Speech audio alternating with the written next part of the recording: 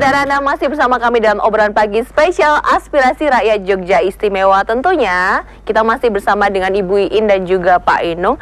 Dan untuk Anda yang ingin bergabung bersama dengan kami, ingin bertanya kepada beliau berdua, Anda silakan bisa telepon kami di nomor 02744477666 dan nanti juga untuk uh, pemirsa yang ada di studio RBTV yang sudah bergabung juga bisa ikut bertanya silakan untuk Mas, Mbak, Bapak, Ibu yang ingin bertanya nanti silahkan ya akan kita buka untuk sesi bertanya juga. Ini kalau masuk yang melanjutkan yang tadi Bu Iin Iya. bisa menambahkan dulu untuk menanggapi pertanyaan dari Mas Pur tadi Bu. Baik, terima kasih. Jadi kalau berbicara masalah tadi nih di eranya gadget gitu ya, memang kita tidak bisa memungkiri. Tapi bagaimanapun juga orang tua sebagai orang tua ini punya kewenangan di situ untuk mengatur eh, sejauh mana sih penggunaan gadget untuk anak-anak kita. Memang terkesan keluarga saat ini kalau kita coba lihat di tempat-tempat publik gitu ya, kita melihat keluarga itu kesannya berkumpul. Ada ayah, ibu, Iya, anak, bahkan iya. juga keluarga besar yang lainnya. Mhm. Tapi di satu sisi tidak terjadi interaksi di sana. Artinya apa? Komunikasi itu tidak terjadi di sana. Semua sibuk dengan gadgetnya masing-masing. Nah ini hal-hal yang mungkin bisa menjadi eh, apa, apa namanya penilaian buat kita sendiri sejauh mana sih keluarga kita itu berkomunikasi dengan baik. Kalau sudah berkumpul kemudian terjadi interaksi di sana, ini tentunya akan ter- terjadi upaya-upaya untuk saling apa sharing ya berbagi. Kemudian keluarga ini menjadi berdaya. Artinya apa? Banyak yang bisa diceritakan melalui saat kita kumpul. Tapi di satu sisi kalau kita balikan kembali, ini gadget punya peranan penting di sana. Akhirnya seperti itu tadi yang terjadi. Komunikasi tidak terjadi. Bahkan Tidak- sekarang dalam Mm-mm. satu keluarga itu dibuat grup di Ah, iya, WhatsApp itu. gitu WhatsApp. contohnya gitu. Jadi kalau Iya. mau Mm-mm. misalnya pamit gitu, Pak gitu, oh, putranya Pak Inung, Pak, nanti adik pulangnya terlambat ya di situ. Jadi nggak langsung padahal mungkin masih di satu rumah gitu. Iya. Ya, ya. Iya. Tapi ada beberapa keluarga juga, Mbak Iin itu yang mampu menerapkan selama di meja makan, selama kita Pas berjamaah ya. untuk beribadah, selama kemudian kita di tempat-tempat yang memang Iya. itu disepakati kebersamaan harus dibangun, semua Cukup tidak lepas. boleh pegang, Ya, Nah, itu. harus, harus lepas. Iya. Itu beberapa keluarga juga mampu Ya. menerapkan yang seperti Berarti memang itu. harus ditetapkan ada kesepakatan dalam ada keluarga aturan yang gitu perlu ya. dilakukan dilakukan di keluarga itu juga. Yang jelas juga ada keteladanan dari kita sendiri. Jangan kita melarang anaknya tapi satu sisi kita tidak konsisten sebagai orang tua. Ah, Mas Nah, ini Pur, dengerin ya Mas Pur ini ya. anak dilarang-larang, tapi sementara kita sendiri, maaf nih di depan anak kita sendiri kadang juga main gadget cukup lama. Sebenarnya hal-hal itu tadi yang diaturakan Bapak Inung tadi. Jadi memang orang tua saat ini ya terkesan ini anak bagaimana biar diem gitu ya. Bahkan kasih makan aja anak pegangin gadget kemudian disuapin. Sebenarnya itu juga tidak bagus juga menurut kami. Jadi dari aspek apa namanya nih komunikasi jelas tidak terjadi di sana. Karena berharap orang tua hanya memikirkan sepihak dengan enaknya saja, sama- tidak memikirkan bahwa sebenarnya ada loh manfaat kita menyuapin tapi ada komunikasi antara ibu dengan komunikasi. anak, tidak hanya Ada eye contact sembari benar. berapa gitu. Tidak hanya sekedar Tapi kan suapin- lama Bu. Nah ini, Mau kerja, ini makanya ini mau orang tua berangkat. memang perlu di sana ini. Ada, oke ini pemirsa di rumah juga bisa menyaksikan di layar televisi. Ini ada konsep keluarga berkumpul, kemudian berinteraksi, apalagi, iya. mm-mm, berbagi, dan Berbagi. tentunya nanti akan menjadi keluarga yang berdaya, yang tangguh gitu ya. Oke. Jadi seperti itu. Jadi tidak hanya terkesan berkumpul saja, tapi pegang gadget masing-masing. Saya pikir tidak akan terjadi hal yang kita inginkan seperti itu. Hmm. Karena ada fungsi dari keluarga itu ada ya Bu ya, Ah, bukan ada. sekedar eh, bobok numpang tidur bareng di sebuah bangunan, bukan sekedar itu ya keluarga itu ya. Nggih. Kalau ini teori yang sering kita dengung-dengungkan di sana, kalau ini pengen punya keluarga yang berketahanan, keluarga yang berkualitas, eh, bagaimana kita bisa menerapkan kami punya delapan fungsi keluarga. Delapan fungsi keluarga ini silakan. Kalau memang diterapkan sebaik mungkin, insya Allah keluarga itu akan menjadi berketahanan. Tinggal kita melihat kemungkinan dari delapan fungsi keluarga itu mana sih yang belum jalan secara maksimal. Kita bisa self assessment ya. Wah mungkin di fungsi agamanya mungkin masih Apa saja kurang. tadi, Ibu, Ada delapan fungsi, fungsi agama, agama. kemudian fungsi pendidikan, Mhm. sosial budaya, cinta kasih, kemudian fungsi terkait dengan kesehatan, kesehatan reproduksi, dan juga fungsi terkait dengan lingkungan. Itu kalau kita terapkan sebenarnya kita sudah membuat apa ya intinya mengarahkan keluarga itu insya Allah akan menjadi keluarga yang berketahanan. Tapi banyaknya nih rata-rata ya karena tadi ib- ibunya juga bekerja sekarang ya Pak Ah, Enung iya, ya. iya. Bapak bekerja, ibu bekerja Bekerja, gitu. iya. Tid- dan saking mandirinya tidak ada asisten rumah tangga juga gitu dan Ya. tadi delapan fungsi keluarga itu oleh bapak dan ibu dipasrahkan kepada pihak sekolah untuk melakukan ya untuk yang agama sekolah nih untuk yang cinta kasih sekolah yang ngajarin gitu gimana nih bu Ya, kembali lagi, ini kan kembali ke keluarga ya, delapan fungsi keluarga. Harusnya keluarga yang kita sudah bangun di awal itu yang memang sudah harus mengenali atau memahamkan bahkan sampai menerapkan itu delapan fungsi keluarga. Jadi kalau mereka maaf ini dengan kondisi orang tua dua-duanya semua bekerja, ya ini kita tinggal membuat kesepakatan antara suami istri kira-kira eh, seperti apa untuk memberikan pendampingan, memberikan pengasuhan pada anak seandainya di posisi kita, misalnya suami istri semua bekerja gitu. Kita tidak mesti harus eh, misalnya dalam hal komunikasi, tidak mesti harus kontak fisik 24 jam tidak. iya iya Mungkin kita menyisakan waktu yang benar-benar waktu itu benar-benar waktu yang berkualitas. Oke, saat pulang kerja kumpul bersama. Kita sudah lepas dengan hal yang sifatnya meng- meng- apa ya, menghambat untuk komunikasi seperti jajet tadi. Iya. Kita coba luangkan waktu itu. Ini Makan contoh malam bareng makan malam gitu ya. bareng. Udah Weekend jarang ya, Bu, ya, sekarang ya?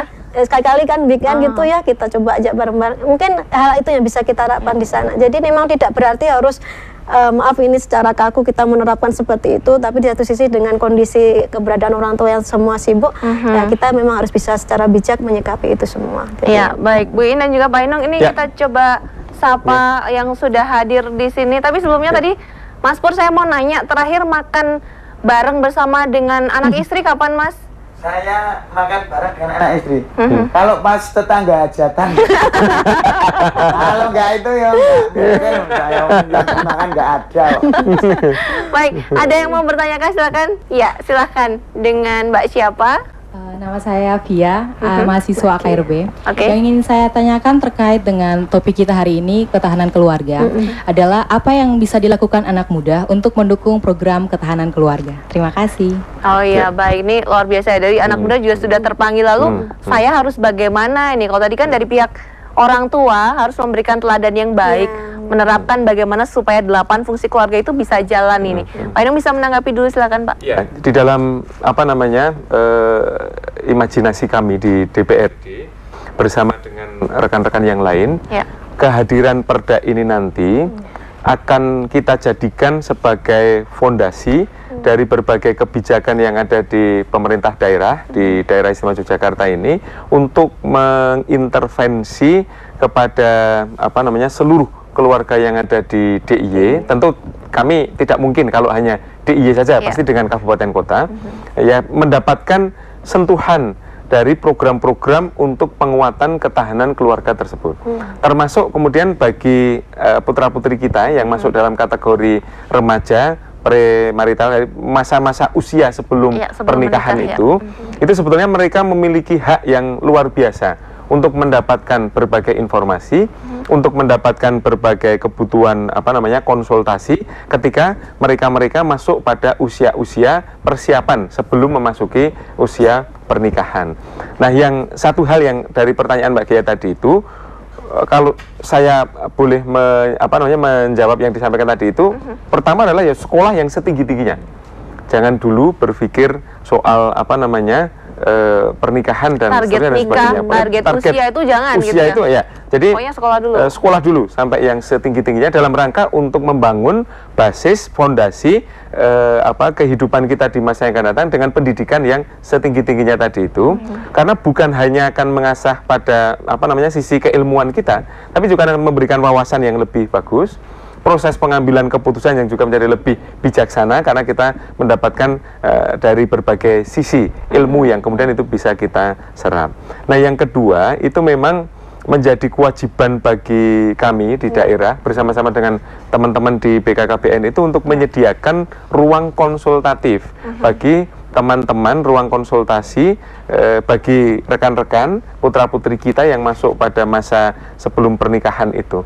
Kalau kita baca PP nomor 61 tahun 2014 itu remaja-remaja putri dan putra itu punya hak untuk mendapatkan eh, apa namanya kesempatan berkonsultasi khususnya dalam hal reproduksi.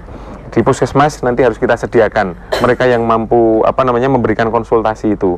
Apakah volunteer ataukah kemudian dari tenaga ahli kemudian konsultasi untuk apa namanya ketahanan keluarga dan seterusnya dan sebagainya memang core dasarnya puskesmas itu adalah untuk eh, promosi kesehatan. Tapi tuntutan kekinian itu tidak mungkin lagi kalau puskesmas hanya melaksanakan kebutuhan pemenuhan kebutuhan dasar tersebut untuk ya. promosi kesehatan dan penanganan kesehatan di tingkat dasar. Puskesmas harus dikembangkan harus ada nutrisionis yang ahli gizi, harus ada ahli apa namanya psikolognya, Ya. kemudian harus ada yang ahli macam-macam di situ. Untuk pemenuhan berbagai kebutuhan. Nah, kembali ke Mbak Kia kan tadi ya, itu, Pak, ya? Sudah sebagiannya sudah, sebagian ya? sebagiannya sudah, tapi karena puskesmas itu kan kewenangan pemerintah kabupaten dan kota, sehingga kami yang di provinsi eh, terus melakukan dorongan-dorongan, ya, ya, dorongan-dorongan untuk untuk penguatan itu. Jadi yang disampaikan Mbak Gia tadi itu sangat sangat apa namanya menarik sebagai bagian dari remaja kita ya, untuk apa namanya kita mendapatkan pengetahuan yang sebanyak-banyaknya karena kegagalan yang tadi disampaikan Mbak Iin ada pernikahan mohon maaf ya pernikahan dini yang diakibatkan eh, KTD kehamilan yang tidak atau belum direncanakan Ya. itu menurut kantor eh, apa namanya Kementerian Agama rentang usia perkawinannya itu mohon maaf itu pasti pendek. Hmm. Jadi eh, angka mohon maaf Sudah angka ada catatannya perceraian ya, iya. Dan ini ya. kalau kita berkeliling ke kemenak-kemenak itu akan ada dua realita yang ini tentu harus harus menjadi usaha kita yang serius untuk peningkatan ketahanan keluarga. Satu, Hmm. Permohonan izin untuk menikah eh, dini karena usia yang belum memungkinkan tapi sudah mengalami kehamilan. Yang kedua, itu ternyata proses eh, apa percayaan itu menjadi lebih cepat terjadi di kalangan mereka-mereka yang notabene itu menikah pada usia yang masih sangat dini. Saya tidak bertentangan dengan faham beliau-beliau yang sangat paham dengan agama yang mengatakan bahwa menikah lebih dini itu akan menghindarkan berbagai kemadorotan. Saya tidak Ya. menentang itu, tetapi kesiapan segala sesuatu itu mutlak harus di apa namanya dipersiapkan dengan sebaik-baiknya. Dan saya kira yang disampaikan Mbak Gia tadi menjadi sangat menarik itu Eh, apa eh, bagaimana kemudian saya harus mempersiapkan diri di BKKBN juga ada, ada apa namanya Pusat informasi pusat konseling, informasi konseling remaja, PIK remaja Iya. ada sekarang Berarti generasi ini pembangun kalau sekarang nih apa, yang, yang genre, ya. difokuskan buat uh, Mbak Fia dan juga teman-teman gitu yang masih kuliah adalah sekolah dulu pendidikan setinggi-tingginya Ya. gitu. Setelah itu apalagi nanti kami akan jeda dulu tentunya Anda masih bersama kami dalam Ya. obrolan pagi spesial aspirasi rakyat Jogja Istimewa.